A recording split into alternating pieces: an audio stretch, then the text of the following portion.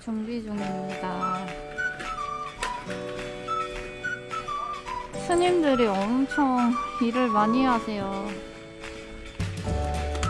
내일은 대불제 해양식이랑 금강산림업회 입제가 있어서 아주